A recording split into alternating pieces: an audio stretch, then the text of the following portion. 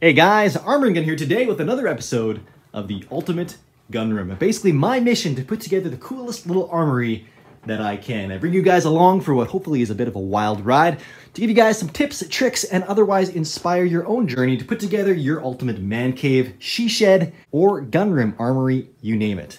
Things like this tool chest, which doesn't have a single tool in it. Well, defined tool, I suppose.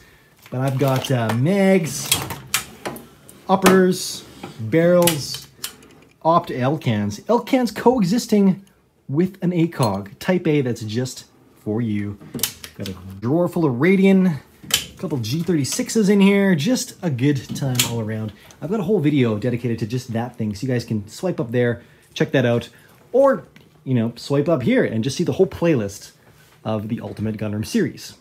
Anyways, this safe just arrived from Rhino Metals. I'm super excited about it. So when I went to set it up this past weekend, I came to a very interesting realization and I was super excited about it. So I wanted to share it with you guys. But first, guys, as a quick itinerary for today, we're going to cover the follies of my initial attempts to set up that safe and what I learned in the process that's going to really help me prepare for a mother load of guns that are on their way. I'll get into a couple little tangents and anecdotes along the way, but overall, I'm going to discuss the theory and strategy behind how I'm now going to be looking at these two safes as a single storage solution. And that is the topic at hand. Why two safes are three times better than one if you optimize. And I didn't go into this thinking that. I went into this thinking, I have a crap ton of guns coming here. A lot of stuff has actually been moving and shaking. Um, May was a huge month for the channel. We had over 8 million views. You guys loved those little shorts that I started putting out. So guys, thank you for watching, sharing, subbing. That is fantastic.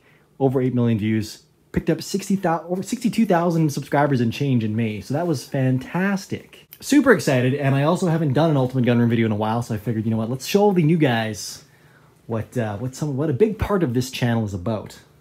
Anyways, I digress. Last weekend, I I finally got into the safe, getting it kind of finished up. I was doing some stuff in the base, just getting it looking real slick. Though the fine workers at Rhino Metals basically did all that for me. But when I went to start filling it with guns and such, I approached it as a blank slate, a clean canvas, just to be filled up with whatever was left kicking around the room. And uh, I quickly realized that was that was not really the way to do it. Because this safe I'd originally looked at, you guys have seen this safe in other videos, and if you guys follow me on Instagram, which if you don't, you should, at arm.and.gun, because I post there daily, and especially on my stories, I go through a lot more just kind of, you know, day-to-day -day kind of content. And you get to see this safe and this room in general at its best. And well, best usually in these videos, typically it's worst in things like YouTube stories. Like until recently, this floor was just covered in guns, which may seem like a dream, but it's actually a big hassle and it's just not conducive to producing content. So at any rate, this thing, this safe, you know, I pretty much had probably stuffed to more than capacity. I think it's rated for something like 70 rifles or something like that, or 70 guns. Of course, you can just there's a smattering of availability for handguns, so that's pretty much decked out. A few missing a few slots. A couple things are on the wall and other places in the room. But SMGs galore were up here. All my SBRs, including folders and just everything was up here. Actually, fun fact, um, so I share a lot of stuff with Rhino Metals. I, they've posted my stuff on Instagram lots of times, so it's I, I get a, to have a bit of dialogue with them. They're, they're super fun people. They're awesome. Really salt of the earth. The company's founder is actually a vet, so that's that's always good in my books. And their director of marketing is also a vet. And he's also young and into social media, and he's a hunter and a weightlifter, and he and he also digs his Dixxon flannels. Big ol' you to the Dixxon team. But at one point or another, the boss lady, Jen, she noticed that I had this shelf over here just a little bit, well, it was sagged out. So she's like, he's got too many guns on there, and he shouldn't have that many guns on there. And she's right, because these things are rated for like 40 or 48 pounds. And I definitely had a lot more than that. There was probably like a dozen to 15 guns in there. And it was it was to the point where it wasn't even practical anymore. So sure, I could have reinforced this. That's easy enough to do, some bars, whatever. But it just was getting to the point where it wasn't accessible. I was also stuffing a whole bunch of stuff in here, and then this wasn't accessible because I had to pull all that stuff out before I could rotate out this awesome swing out rack and get into the big baddies in the back. This is fantastic storage back here underneath that you get when you use this swing out rack. It's just fantastic access for like 13 guns but I wasn't able to access it because again, I had just like hoarded too much stuff in here. And this base where I have full-size kind of battle rifle, 16-inch kind of ish guns. Again, everything was just cram jammed in there, and it wasn't healthy. Guns were bumping each other. Ah, it was not good. But in my mind, I had like maximized the potential of the safe and I was happy with my value out of it. So I was like, great, good, done. Close the door. That one's done. We've got a new one. And then I opened it and I was like, well, what do I have laying around the room? Well, this and that and, you know, the guns you kind of see in here. Well, actually, it wasn't even this full because a lot of these guns were in there. But now what I realized, okay, light, come on, was that I was approaching this all wrong. I was kind of looking at basically setting this up the same way I set that one up. But that's not the best way to do it. You see, guns come in all sorts of shapes and sizes, and with this this first safe, I basically reduced my collection down into these. There's four areas here, but then I guess five if you include the area behind the swing out rack, and then the door for the handguns. That's kind of just a given and, and fixed. You can't really do anything else with that unless you pop this off and throw Gallowtech panels on it, which actually looks really cool and I've debated doing, but I haven't done it yet. At any rate, I looked at my whole collection and I tried to, you know, pick a gun and put it into one of these five buckets basically, and that's only so efficient.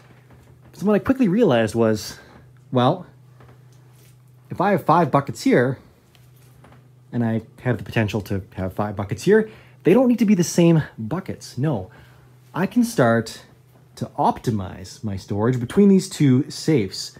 And what I mean by that is, instead of my SBRs up here being anywhere from little like 5 inch guns to like 12 inch with folding stocks to fixed 12 inch guns, I can just put my fixed guns in there from say right now we have 8 inches to 12 inches and it's really optimized. I can then, you know, mess around with this shelf to just get it dialed in to just be that because I have enough guns basically to, you know, fill that out. And it's comfortable now because now I have 8 guns there, not 15.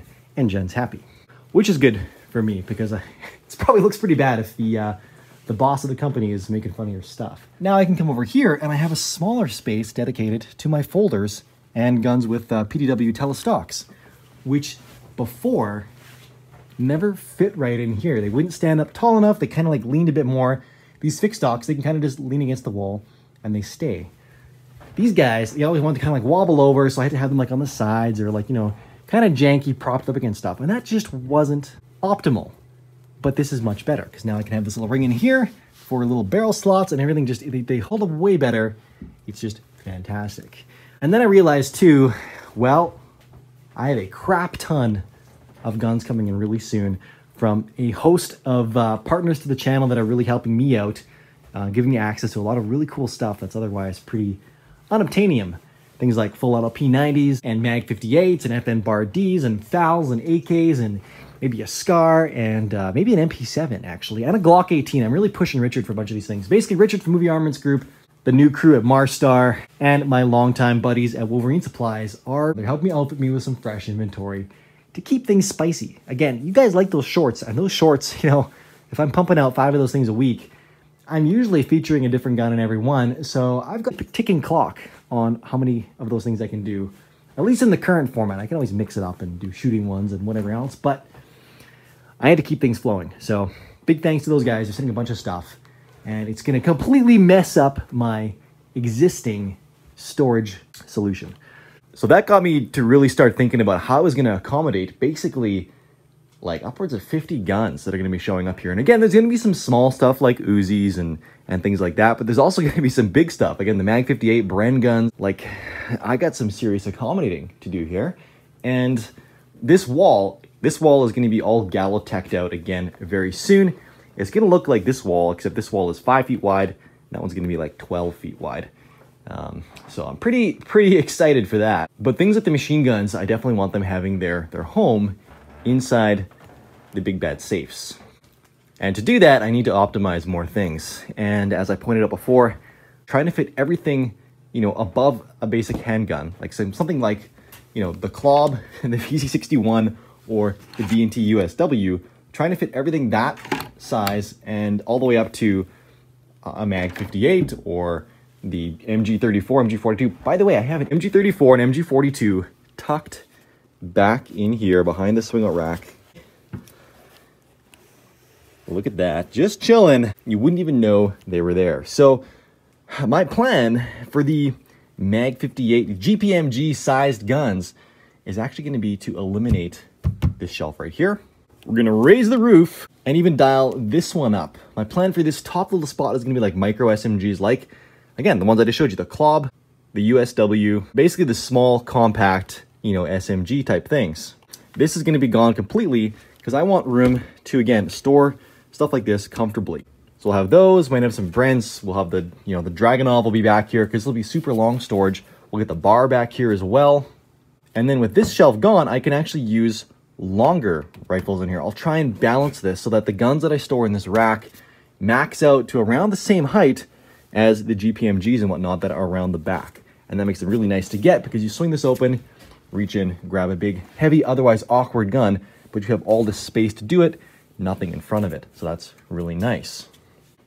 So then again, micro SMGs up top or whatever, whatever ends up working. Again, these this MG34 is actually shorter than I remembered it being, so maybe I don't need to really crush this shelf out here. I'll know more about that when it arrives, but the point is to optimize, because then I'll come over here and potentially lower this one here, because right now I've got, you know, kind of all my 20 inch and, and higher rifles on here, but this space is being arbitrarily set by, by basically a couple guns this SIG 550 with the 26 inch, 25.6 inch sniper barrel. The next after that is going to be a Valmet Hunter, and there's also going to be the Dragunov in the back, or the bar when uh, it's chilling in here. without those things, I can literally drop this thing like another five inches or so, which gives me all room up here, which at that point, I can probably, you know, come over and get my PDWs and folders out of there. They'll have enough headroom to be up here now, and then again, if I do a small shelf somewhere for these guys, they can, they can go there. Basically, this safe is a given. I have a set amount of internal volume, and if it's not being filled by guns, it's not efficient. And it's limiting the potential of what this safe has to store. So again, all this, empty space. All this, empty space. This is looking pretty good. This is really handy. I'm not, this looks clean, it looks efficient, it's very easy to access. That's good, I'm happy with that. Now, of course, this is this is one of those problems that's you you kind of say first world problems, but this is more like you know gun tuber or armorer problems, I suppose. But there are people out there with large collections, and they could also be you know if you've got two of these big safes, chances are you've got these problems. And this is a great way to enjoy your collection a lot more. You get better accessibility, less chance of safe dings. Jen won't call you out, and you can show off to your buddies and how smart you are for optimizing and sneaking every little bit of efficiency out of your safe, which is a good thing because these things aren't cheap. These are big investments and you want to use them. You want to use them really well. If you can get another 20 or 30% of your safe, that's, you divide that by the amount of money you spent on the safe, that's pretty significant. Definitely pretty significant. One might be so bold as to argue with their partner that that alone is the financial merit and justification to buying a second safe. I mean, after all, if a second safe gives you 30% better utilization in your first safe, as well as 30% utilization in your second safe, why isn't that like 60% off your next safe? All while maximizing your initial purchase? Sounds like a no-brainer to me.